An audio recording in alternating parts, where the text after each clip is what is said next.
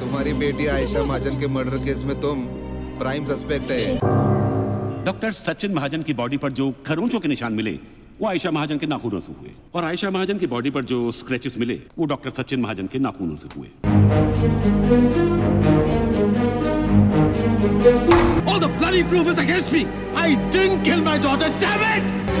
Sunil Paraskar CBI चलिए उस रात हुआ क्या था? कल रात मैं होटल मेरिडियन में था। झूठ बोलने में तो आप अपनी बीवी के भी बाप ये रियाज और आयशा महाजन का क्या रिलेशन था? अगर तूने आज के बाद फिर से ब्रेकअप की बात करी ना मुझसे जान से मार दूँगा तेरे को। बिल्डिंग के नीचे उतरा था तो उसके बाजू पे पट्टी बन रहा था खून बह रहा था। वो औरत किसी भी हद तक गिर सकती है।